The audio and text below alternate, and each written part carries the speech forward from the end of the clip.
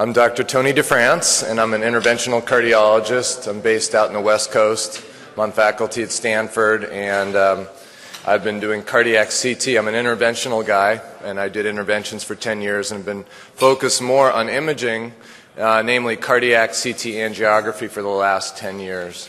And I uh, teach that a bunch and travel, and I've also been getting more involved in uh, making some of the rule sets for cardiovascular imaging. And so the talk title today is uh, Best Practices in Cardiovascular Imaging. So I'm going to take you through that now.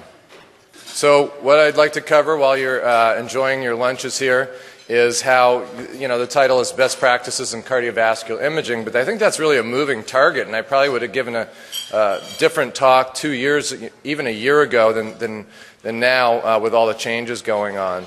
It's becoming more and more about efficiency and value in imaging, and I'm going to go through that. I'm going to give you some clinical case examples and hopefully use this. Uh, I have a workstation up here to show you a couple recent cases that we've done and um, highlight some of the uh, advantages of wide area detectors, some of the cath lab advantages in the case I'll show you, and some near future technology with uh, mainly with cardiac CT. So why is best practices a moving target? Well, one of the big things, as most of you in the room obviously know, is there's a lot of changes going on in healthcare right now. There's a big drive towards value and efficiency. Uh, also, we see it's a moving target because as the technology advances, clinical pathways can change. New clinical pathways are developing with these uh, advances in technology, especially cardiac CT. I think that's one that's come in and is kind of a game changer in some ways. So, um, what's driving this change, this move towards more efficiency, value, and the healthcare change? Well, as you know, healthcare costs are now at about just almost 17% of our gross domestic product, and the costs of care are rising. They've leveled off a little bit, but they're still going up year over year. There's all kinds of predictions of doomsday, but in its current form, Medicare is non sustainable probably in six or eight years. It, it will not have the, the money to, uh, to go on, and part of that is because of the baby boomers flooding into the, the healthcare system and turning 65 at a very rapid rate. What's also driving the change is our fragmented, complex system, and I'll show you some slides on that, um, both in terms of uh, reimbursement and in, in, patient care. And we have a uh, system based on volume. Uh, physicians or others can be incentivized by doing more procedures. And so they're trying to change that from a volume incentive to a value or quality metric incentive. This is um, one of these lovely graphs that we show that um, illustrates the uh, baby boomers right here. And this is over the next 18 years as baby boomer generation we got about over 3 million a year turning 65. There's one statistic. There's a baby boomer turning 65 every eight seconds for the next 18 years. That's uh, pretty amazing. And uh, so they, you know, there's a lot of fear that's going to overwhelm the system that's in place, the Medicare system. So we, it's predicted we'll have just about 80 million Medicare beneficiaries by 2030. It's a big number and a lot of money to take care of it. So this statement here, we, would like to migrate from a fragmented volume-based system to one that is driven by value, accountability, quality, and outcomes. This comes directly, I lifted this directly from CMS, uh, from Medicare and some of their documents. So this is the direction that they want to move, and it's not that new. Some people think it's Obamacare, the new changes. This has been going on for more than a decade, their move towards, uh, away from the fragmented volume-based system to a more quality metric system you know, and this is what our system looks like. It's a great one, but you know, we have imaging centers, ho- outpatient hospitals, et cetera, long-term care facilities, ambulatory care centers, and there's all these different uh, payment uh, entities that, that happen and different rules and regulations around them. So what the government is looking to do is kind of create more of a, a single payment system, a hospital episode-based payment for acute episodes. They're going to uh, in the very near future give one payment to the hospital, and everyone's got to go to the hospital to get, to get paid for what they're doing. So that's for an acute episode of care. It will include the three days before the hospitalization, the hospitalization, and 30 days after. So that's a big change in the way things are done now. So, really, a lot of what's going on is the power structure is changing. Hospitals are gaining more power in this, in this new environment. They're acquiring a number of cardiology practices, many of you probably know. There's some estimates 30 to 40 percent of cardiology practices in the U.S. have already been purchased by hospitals, and that trend is expected to continue over the next couple of years. And one of the, you know, there's many uh, reasons why they're doing it, but one of the, the big ones that we've heard is that we're going to ensure clinical, operational, and cost efficiencies. Hospitals have to become more cost efficient uh, in this new environment. And to do that, they need to be able to control the docs, their ordering patterns, how they use imaging equipment, and clinical pathways. And they're preparing for these new reimbursement structures where you have a single payment to the hospital system. And as you guys all know as well, we have declining reimbursement for imaging going on, and that's really hitting the backbone of cardiology, making the hospitals in many cases able to acquire these practices all over. So we're really switching from a volume based system to a value based system. And it's really not all that new. Like I said, a lot of this stuff started back in 2000. There's a number of uh, rules and regulations that Medicare has put in place. I'm not going to go into these in any detail. But this, this uh, sweeping change from volume to, to value based uh, has been going on over a number of years. So it's becoming about clinical efficiency, operational efficiency, financial efficiency, and really value. When I say efficiency, it kind of has a bad connotation, but clinical value, improving the value of what we're doing. Uh, Medicare is going to become more of a healthcare purchaser than, than a passive uh, entity. And there's going to be metrics put in place at several levels to measure these sorts of things. Okay, so you guys have heard of some of these probably pay for performance, present on admission, changes to the DRGs that are occurring, accountable care organizations, episodes of care, all those things are, are uh, in place. So the changes to the DRG, they're turning into cost-based, um, and there's going to be more and more bundling. There's going to be uh, benchmarking for um, different clinical entities that's already in place with stiff penalties if people don't meet them. Medicare is withholding 2% of their of whatever they paid the hospital last year until they meet certain benchmarks. Those things are all going into place and also present on admission, you're going to get paid for the diagnosis made up front, when the patients hit the door and not for things that develop after that. This whole episode of care concept is what I mentioned earlier is basically once they, for, for the three days before they're uh, acutely ill and admitted to the hospital, the hospitalization, and the 30 days after, there's going to be a single payment for that and there's other models that are looking at these accountable care organizations run by primary care physicians where they get, it's kind of a medical savings uh, program where the, the physicians will get a bucket of money and they need to optimally take care of the patients. So I think that's enough. I know this is a talk on imaging, but I'm kind of giving you a little backdrop on what's going to really drive, uh, drive imaging in, in, this new way. These accountable care organizations, value-based purchasing by Medicare, uh, they want to get rid of the preventable readmissions. They're going to do these episode based payments and, um, and reduce iatrogenic illnesses. So they're moving towards quality and reducing costs. And around, you know, they, they feel that the electronic me- medical record is going to tie a lot of these things together. That's sort of the plan that you can see unfolding here. So I think the new paradigm, um, it's not about thinking how much are we going to get reimbursed for a test. It's really about efficiency and getting cost out of the system that we're going to be looking towards over the next couple of years. Performing to metrics with optimum use of imaging, like capturing all diagnoses up front, effective triage at the door, and admitting the high acuity patients and discharging home the lower acuity patients.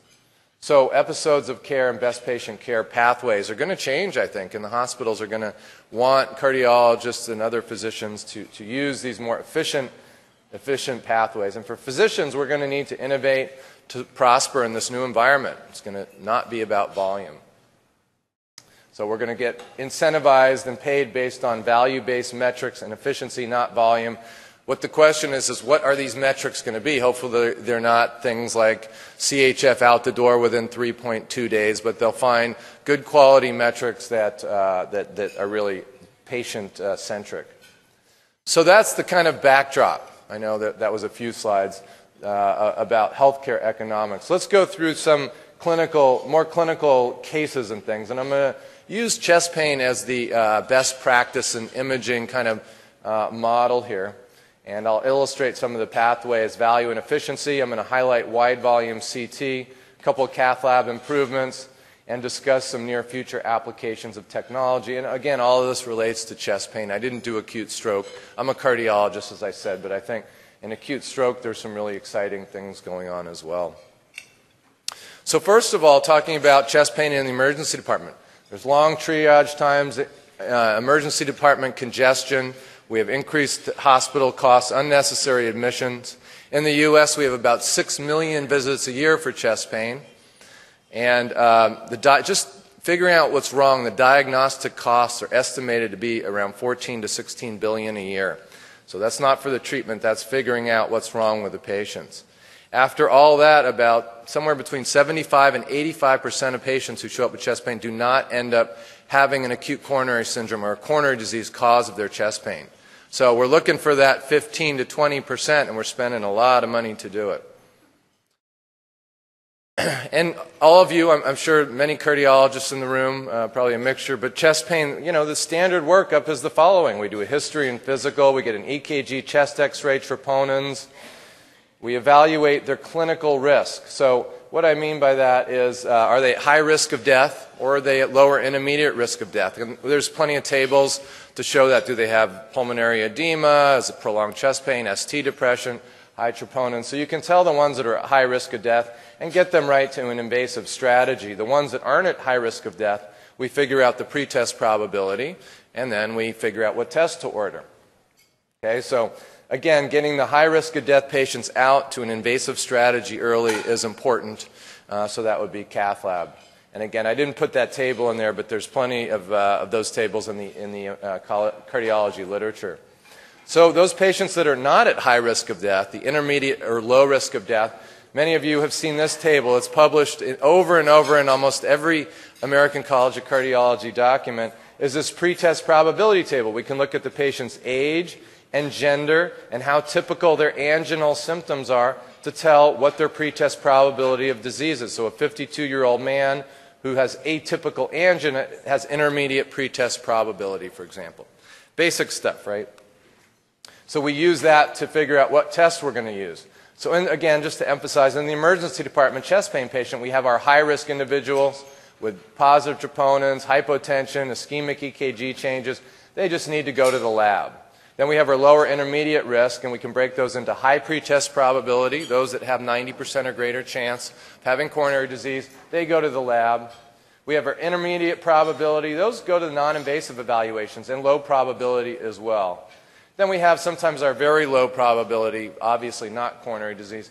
Hopefully they go home, but in this medical legal environment, they'll often leave with some sort of testing being done as well. The interesting thing is if you look at emergency departments, about 85% of people that show up fall into this category. Okay, in multiple uh, studies in emergency departments. So 75 to 80 percent of people, 85 percent, fall into this low risk, intermediate, or low probability chest pain uh, category. And I'm going to, you know, the, the standard of care has been using either stress echo or stress nuclear to assess those intermediate probability and low, low pretest probability patients. What I'm going to talk about now is, is possibly using cardiac CT in those intermediate and low probability patients. There's been about 25 studies on using cardiac CT in the emergency department arena. And those show that it's a faster modality. It gets it done faster than the others. It's less expensive than a standard of care like nuclear. It's highly accurate. It compares very well to catheterization. When I say it provides more information, when we're doing CT, we're seeing the lungs, the esophagus. We find other causes of chest pain that are not the heart. And we see the myocardium, pericardium valves, et cetera. We see all of the heart, not just the coronaries. And now, more and more with new technology, this can be done with very low radiation doses. So, this is from uh, kind of compiled several studies. This is just sort of elevator speech. Cardiac CT is about a third less cost than a nuclear strategy in the ED, takes half the amount of time, has a lower radiation dose than the nuclear strategy, and several studies have shown that we can get about 75% of people right out of the emergency department, no admit, no holding units with a, a, cardiac CT strategy. That's a big deal. I'm going to show you that in a minute. And those 75% that are discharged, they followed them out now in some studies two and three years. There are no events. So when you send them out with a normal or near normal cardiac CT, they do not have clinical events, acute MIs, acute coronary syndromes. The CT STAT trial is one of the bigger ones. It's just in its final publication uh, phases. 16 hospitals. They compared CT to nuclear, 750 patients. Bottom line, they discharge, uh, this number about 80% keeps coming up. 82%, no significant stenosis. 9% moderate, 8% had severe. And there was no difference in invasive strategy. Some people have worried if we do CT, it's an anatomic modality. We're going to do more angioplasty and, and interventions, but that was not really true in this study. So, a very effective way to get about 80% of the people out of the ED quickly with no events. Here's the decrease in cost with a CT strategy versus a nuclear, and they were very conservative, so they did quite a bit of secondary testing. I think it would be even less expensive in a non trial environment. Half the time, here's the hours in the emergency department. The first run of this trial, their ED chest pain workup times were about 13 hours. That's pretty standard in the US, 10 to 13 hours to get someone in and out with chest pain. And uh, now, with a CT strategy in this trial, they get down to under three. So, less time to diagnosis, less cost, and a third less radiation. Again, they use a conservative strategy, but the CT arm was about 10 millisieverts using more. They did a lot of retrospective CT, so now we're using more prospective, and uh, that's compared to nuclear. So here's some stuff off the 320. I told you I work, I think I told you at the beginning, I work on a 64 Toshiba and a 320. Here's some data off the 320, and that's some of the images I'm going to show you in a few minutes. Michael Poon at uh, Stony Brook just did this, 1,000 or 1,100 patients with chest pain. They got 85% of them out of the ED with CT. Um, with their non CT strategy, which they compared it to, which was mainly nuclear, 50% of the people would get admitted. So this is a, a, a marked decrease in the amount of people they're admitting. And uh, with a CT strategy, they only ended up having to admit 15% versus 50% with a non CT strategy in the emergency room. Each unnecessary admission, they figured out the hospital cost was $5,000. So when he kind of totaled it up, uh, for every 250 admissions saved, they saved about $1.3 million. So that's been a big uh, that, this, this study, again, has uh, been published in its initial form. That's a big savings to the hospital. And this is exactly the kind of cost efficiency, clinical efficiency. You know, these people don't come back with events. The, the, they don't get readmitted uh, with a CT strategy, and they're saving money. So that's exactly the kind of efficiency they're looking at. I work very closely with a 320 program in Australia. I have the privilege of going over there several times a year in Melbourne and they have a 320 and, a very nice uh, uh, ED program. They, they use CT to triage all their emergency department patients. So of the, they have to be low and intermediate pretest probability, not the sick ones. They go to the cath lab. So um, when they took uh, a large group of consecutive chest pain patients, again, 85% seems too good to be true, but that number keeps coming up had normal uh, or, or, mild disease by cardiac CT. No events when the CT strategy was used for discharge. Lower admission rates, about 1% admission rate um, versus 9% for their standard of care. They use more stress echo over there than nuclear, uh, but, but that, that was the, uh, the difference. So, you know, it looks, uh, and there's about 20 more studies. If you like, I'll put my email address up at the end. I can send you a reference list by email uh, of all the emergency department studies. There's a number of good ones which I can't cover here. So, what I'm going to cover now is um, basically some clinical advantages of 320 uh, detector CT. So, helical cardiac scanning uh, with a 64, for example, takes six or eight seconds, and um, we get we kind of compile the, the, the data sets from four, five, six heartbeats, depending on the machine. And most 64s do a very nice job. I have a 64 uh, one of our centers, and it, and it does quite well. But with 64, you're scanning again over the six beats, and what you're counting on is the heart to swing back to the same spot with each subsequent heartbeat. And the heart rate has to be very well controlled. So from the first slab from the first heartbeat, I get this slab of data from the second, that, third, fourth, fifth heartbeat, etc. And those, the computers obviously splice them together almost like one of those panoramic photos. Now, if the heart doesn't move back to the exact same spot, you get this. Now, I did this artificially, but this is misregistration or step artifact. And this is one of the things that kills us in, in uh, multi-slice cardiac CT. Then your, your coronaries are shifted all over. So that's one of the potential downsides. And that's why you really need excellent heart rate control and very, very little heart rate variability in general. With a 320 detector CT, the entire data set is taken in one snapshot because we can do up to 16 centimeters of volume in a single snapshot, so there's no, we don't stitch together slabs of data. It's all taken simultaneously, and it can be done in, in about a third of a second. And this is what it looks like um, once the gantry gets rotating basically, you know, takes just a, a piece that, that would be a prospective. We just took a little part of the cardiac cycle, snapped the shot. We can get the whole 16 centimeter volume, and that's a big advantage uh, for several things. And we call that temporal uniformity. It's like that it's taken all at the same point in time with a 320. And So no misregistration or step artifact. The contrast is the same everywhere, and that becomes very important for a new application I'm going to show you, which is using CT to do perfusion studies. So CT myocardial perfusion, having homogeneous contrast, same contrast everywhere is quite important. We've noted less artifacts with calcium and stents because of this, you know, par partly because we don't have step artifacts and um, we don't have any cardiac vein interference. We've also noted that we're using less contrast with the 320 since the image is so quick we can give smaller boluses of contrast and snap the shot. So our average contrast, we've actually even gotten lower, 40 to 50 now, but right around 50 cc's is probably a pretty standard contrast bolus for us. And this is why with the 64, you have to keep, it takes, it takes several seconds to do the study. You have to keep the heart well contrasted. With a 320, it's in, you know, almost instantaneous, so you can use less contrast. Now, here are some of the acquisition modes. We, we do a full beat. In some cases, this would be a full beat study. This would be retrospective imaging, right? You can see these because that's, we can slice that up and look at 10% of the cardiac cycle, 20, 30, 40, and, and make nice motion image. That's retrospective uh, CT with a 320, one heartbeat. And these, uh, they've already played through, but these uh, make really nice functional images. We can do one beat with dose modulation. So if we want to save radiation dose, we can turn the MA down during systole and up during diastole. That'll save about 25, 30% of the dose. Most of what we do, though, about 85% of what I do is this, which is prospective imaging.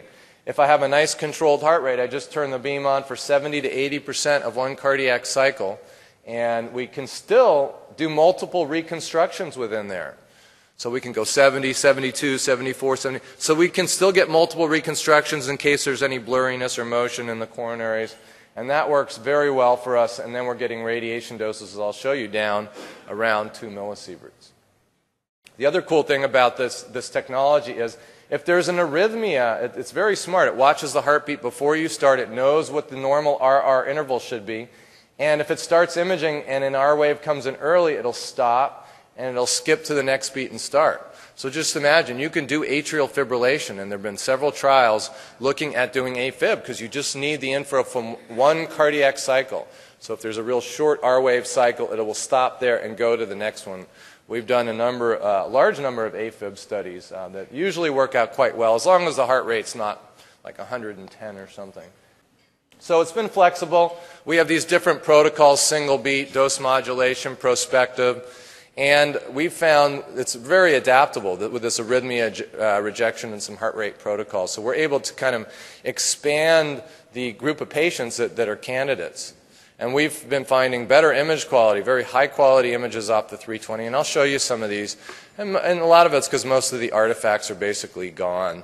And speaking of radiation dose, you know, here's the typical with the nuclear med, um, you know, typical stress sestamibi or something. You're typically quoted 14 millisieverts or so. Retrospective 64, that was about 14, 12 to 14, maybe even up to 16 depending. But with prospective now, even on a 64, we can get it down in a lower range. Diagnostic cath, somewhere usually quoted in the literature, hard to find exactly, somewhere around 6 millisieverts for a, a non-complicated cath. And then um, with prospective 64, you can get it down around 5 or 6 millisieverts. With the 320, we're getting studies down around 2 millisieverts. Okay, so we've seen a dramatic reduction in dose and contrast. We've seen improved image quality. And these are, again, my experiences. We, we've had our 320. We got one of the first ones in the U.S., so we've had it since 2007, so I guess that's going on four years. Um, we have more rapid patient turnovers. We can do five, six an hour pretty, pretty easily, and we can use, do it on a wider range of patients. So, now we're going to switch to hopefully uh, some interesting stuff, a little clinical, uh, clinical data. I'm going to show you a couple cases. This is the first case done, uh, in, again, a chest pain in the emergency department, 52-year-old male. He's got some shoulder pain with exertion, so that would be atypical, atypical symptoms. Primary care actually thought it was a rotator cuff injury, so we gave him some Motrin for a couple weeks, and the guy came back and said, no, it's not better. So then he sent, uh, the primary care sent it to a uh, cardiologist, sent the patient to a cardiologist. And in this particular case, I said he's 52, he's a male, and he's got atypical symptoms, right? So he's one of these intermediate pretest probability patients. Is a perfect candidate for either stress nuclear stress echo, or in this case, we use cardiac CT. Obviously, first step, normal 12 lead EKG, normal enzymes. So this is, I'm just loading the uh, raw DICOM data that comes off the CT. It hasn't been processed. This is all being done in the background by the workstation. This is a Vitrea workstation. And so, um, you know, you guys have seen these, I'm sure, but you can see some of these nice 3D images. Here's the left anterior descending. Here's the circumflex. Here's the right coronary artery. And there's the distal right. Looks nice. You can come in here and look at Origins of the coronary arteries from above here. This is the origin of the right coronary, origin of the left main over here. So you can see nice normal origins. You can see the quality of this case. This, I'll show you the data uh, with which we acquired this in, just a minute. But let's go in and look um, at his coronary arteries. I'm going to skip. Normally what I do is I'd walk through and look at the myocardium, the pericardium, the valves, the chambers. Um, and it puts it automatically into echocardiographic type views. Here's a four chamber. You can see compare chambers. Here is a short axis of the heart, and here would be a two chamber. And uh, we can see myocardial infarctions nicely if there are any, and there's obviously not in this case. So I'm, a, I'm what you call a vessel walker. I like to um, kind of come up here. Let me zoom up a little bit and um, kind of walk my way down these vessels. Here's the left main. Here's the LAD. I'm walking down that, and I rotate them so I make sure there's nothing hiding. Here is a little, you see this right here? Let me see if I can zoom that up. So, totally normal lumen, but he's got a little fleck of calcium in, in the wall of his coronary artery. Maybe a little bit of non calcified plaque there as well, but totally non obstructive disease. This would be put into the mild to normal um, uh, you know, category. So this gentleman, unless I find something here as we move through, I'm moving into the circumflex territory. The rest of his coronaries are stone cold normal. That's the only thing he has is a tiny fleck of calcium. So he's going to be discharged from the emergency department. Let me just look at his right here. Quickly and efficiently without, you know, sitting in there for 13 hours or whatever it takes. Here's the right coronary artery. And uh, again, you can see really minimal atherosclerosis. And you see there's no such thing as step artifacts. Some of you guys do cardiac CT you know, and, and you may have some step artifacts, etc. You don't see that on these wide volume detector uh, images. Now, how did we do that? We gave him oral beta blockers. Our protocol is when we, when we know they're going to go to the CT or when we suspect, we'll give them 100 of oral beta blockers in the emergency department. By the time the wheels get in motion, the CT clears the head trauma and all the stuff that's going on. Usually an hour has passed. So that's what we like to see, 60 minutes or so. And he was in the scanner 1.2 hours after he hit the door. Um, he was on the scanner uh, and um, he was only in the CT suite 16 minutes. Here's his, we, we did him from 70 to 85%. We turned the beam on of his cardiac cycle. We used 40 cc's of contrast, KVP 120, MA 400. His total dose, 2.8 millisieverts. So nice low dose CT in the ED study. When we narrow the window even more, turn it on from 70 to 80, we probably would have had that down around 2 millisieverts. So, but very acceptable radiation doses. So in this case, value and efficiency, you know, it was efficient. We got him in and out of the ED in a couple of hours. Low dose contrast, low dose radiation, non-invasive. And there's been several studies saying very low chance this guy's going to come back or get retested. People feel very confident when they have this kind of anatomy. It's operationally efficient. He got in, in, you know, in and out of the ED in two hours, minimal ED bed use, and um, it's more cost efficient uh, for the hospital. So um, here's a second patient. This one, um, actually, I, I uh, just got this morning from Australia, and um, this one, I read some of them from over there, 56-year-old male, presented uh, with atypical chest pain, no known medical problems, family history, and they decided, again, he was sort of one of these low to intermediate pretest probability patients, good candidate, so he's going to have a cardiac uh, CT.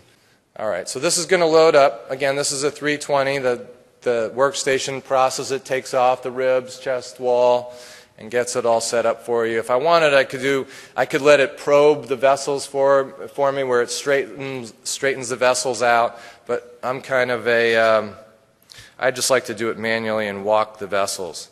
So I'm going to sort of hop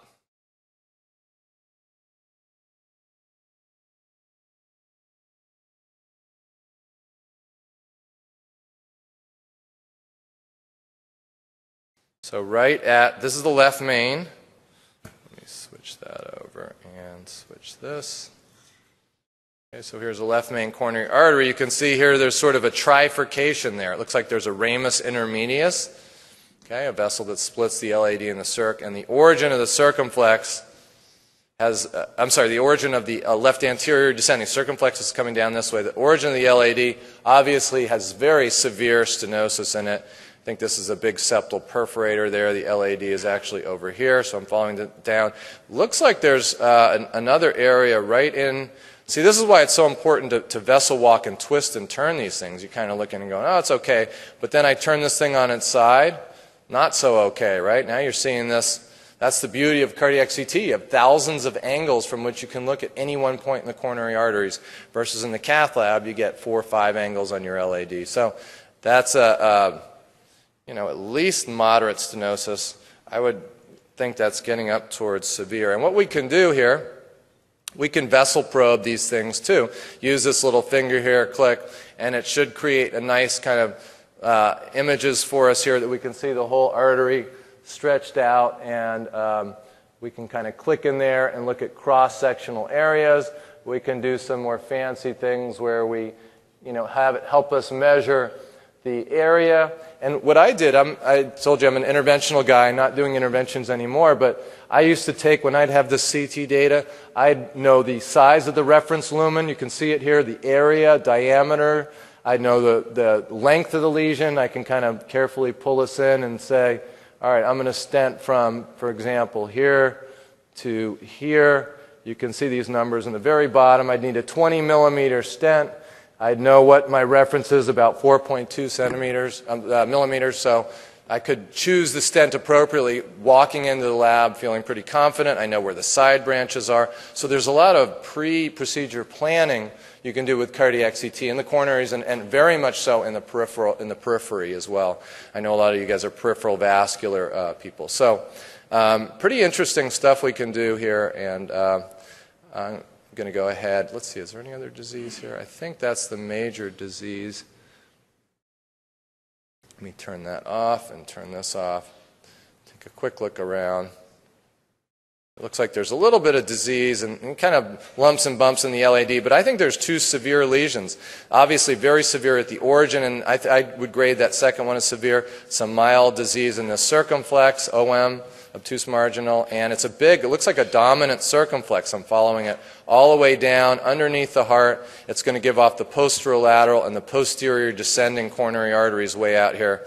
So this is a big, this is a left dominant system, and I would expect the right to be uh, quite small. Let's take a quick look at that. And uh, yeah, in fact, just a tiny right that gives off a RV marginal branch and a conus. Okay, so same thing on him. We gave him oral beta blocker before. It took about an hour and a half to get him on the CT. CT was done. He was back 14 minutes. we used similar parameters uh, on him, a little higher MA, so his dose was around 3 millisieverts, 50 cc's of contrast. So again, very reasonable uh, to get him in and out of the, out of the uh, emergency department. So here's the images. Now this is also done on a Toshiba cath lab, and I love these Toshiba cath labs. The image quality, um, you can see here, we're over the spine, but and the patient's breathing, but you can see the whole vessel because of their advanced imaging processors. There's a high degree high-grade stenosis there and the proximal LAD.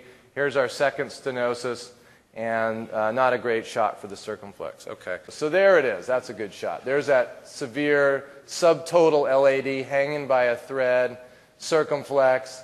Again, high-quality images. They came up through the groin here, but more and more, probably, uh, I think there's a talk going on in the other room right now we would have done this radially. Um, and I'll show you, um, you know, some advantages of this particular cath lab for doing it radially. But really high quality images that are, that are uh, very reproducible.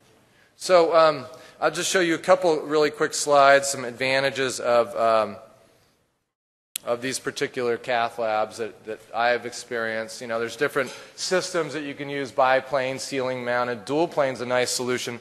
Many of you do uh, peripheral and coronary work. This is really nice because you can have the best of both worlds, have small uh, flat panel displays for steep angles for your coronaries, but uh, have the dual plane. It brings it in separately, and you can have the larger panels for your, uh, for your peripheral work.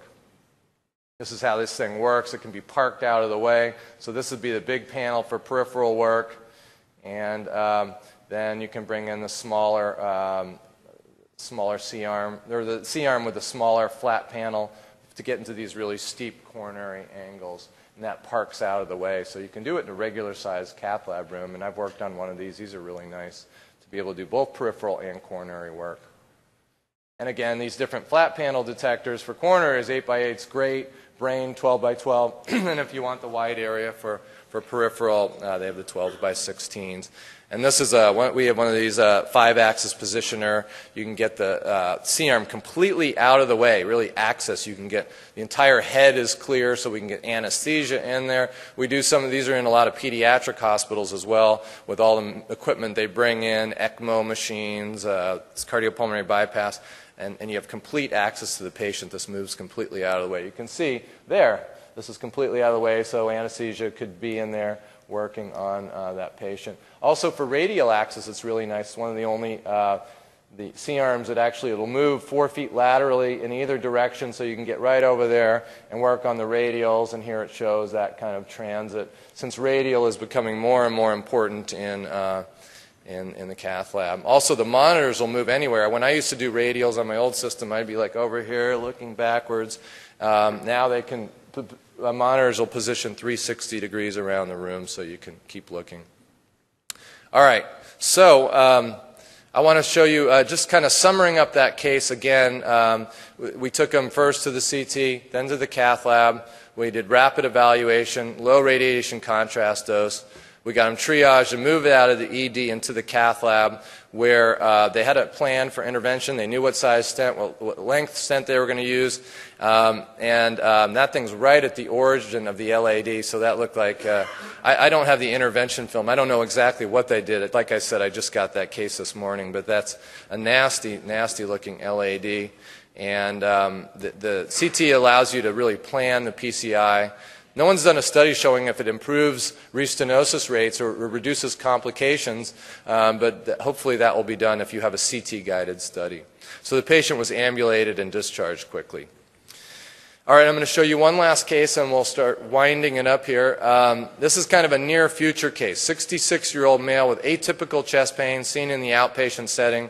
He's got a little elevated LDL, but not much in the way of risk factors. All right, so I'm going to load up. Again, this was done, um, you know, we can do 70 to 80% of the cardiac cycle, and, but do multiple reconstructions within that 70 to 80%.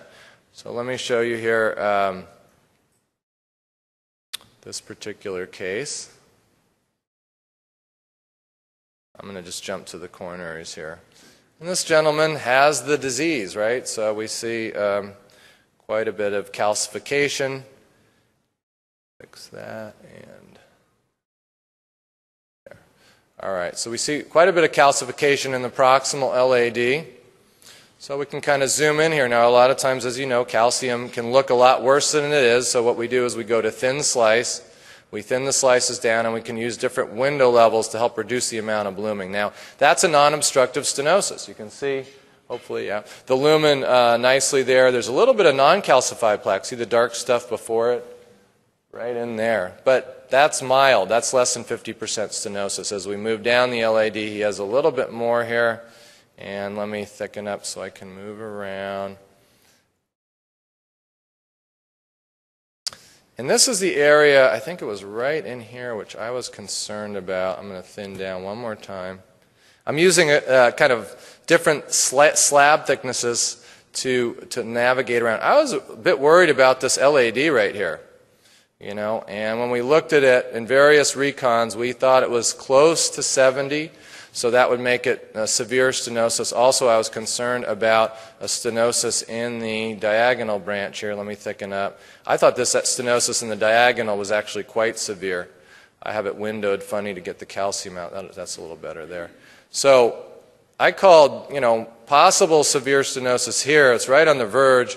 And then I was pretty convinced that that in the uh, in the in the uh, diagonal branch was uh, severe. He's got a huge Again, another very big um, circumflex, and, but no stenoses in there. And let me look quickly at the right, and I'm going to show you um, this, uh, some cool technology that we used in him that most people haven't seen yet. So this is, again, he's got kind of lumpy, bumpy coronaries, right? He's got disease, but not real severe obstructive in the right. Might have been a little something. I was a little concerned about this. We're way out here, but that's the bifurcation of the posterior descending and posterior lateral. So what do we do in him? Um, actually, we're using this new technology out of Stanford um, uh, that I'll show you in a minute. You know, and, and, one of the limitations of CT, though, first is um, it's an anatomic modality, right? So Sometimes we have these, I don't know, is it 60%? Is it 70%? What do I do? Do I go to the cath lab? Do I not? Do I do a nuclear? So that's one of our Achilles heels, so to speak. Obviously, heavy, heavy calcified vessels are, are, a problem with cardiac CT, and precisely quantitating it and comparing it to, um, to, to, intervention to the cath lab is, uh, is difficult. It's usually plus or minus, uh, 15% compared to the cath lab. Really, we don't know. Is a stenosis causing ischemia? It's the, it's the debate we've had in cardiology for years. Anatomy or perfusion, which do we use to guide therapy? So the question is, are these, and this is supposed to be like a 50, 60% stenosis, and that's supposed to be a heavily calcified vessel, are those causing this, which is a CT myocardial perfusion defect? So we've given adenosine stress the heart, and we can see low density, low attenuation in the myocardium. That would be equivalent to a cold spot on a nuclear study or stress. So we're doing this stuff in Australia. We've been doing it for about a year and a half, uh, where we're um, doing CT. There's a very high grade stenosis. Doing cath, and we're doing FFR in the cath lab. And then we're doing these uh, rest stress um, myocardial, CT myocardial perfusion images. Here's the rest. I don't know how well you can appreciate from where you are, but on stress, this, it's all dark here in the anterior wall here, about from halfway down, mid and distal. You can see a little in these funny color maps. You can see up here rest and stress, that darkness. So uh, we're starting to, and, and, we're just getting a study published uh, now with uh, 80 patients, and it, the cool thing, several people have compared this to stress nuclear, but we've compared it to FFR, invasive FFR, fractional flow reserve, and we're finding very good correlation. So that's an exciting thing. Again, this kind of um, here's the rest study, no dark spots in the myocardium. Here's the stress. You can see there, anterior wall ischemia. Now, that's one way to do it. Here's the other cool thing. Here's what they're doing at Stanford, and I've had the privilege of working with these guys. There, I love this slide because we got these real smart fluid dynamics engineers. They're taking, oops, they're taking the CT data and they use this, uh, this equation here, whatever that means, and put it in this black box, right? and I go, well, wait, wait. But they, that's, that's about what they'll tell me. And out the other end, it takes about three hours to process a study, but out the other end, they're able to calculate fractional flow reserve based on the CT data sets. So I assume most of you know what fractional flow. We're looking at flow across stenoses to see if it's hemodynamically significant. So they've done this um, in a number of cases now. They've published several trials, just got another one accepted to JACC, and it correlates very well with invasive FFR.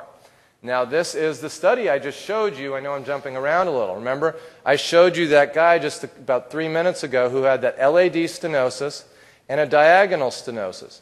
Here he is. They ran him through that computational flow algorithm. Here's his FFR based just on the CT. This is a stenosis. Those of you know that do FFR know that less than 0.8 is kind of the magic number. That would mean it's flow limiting.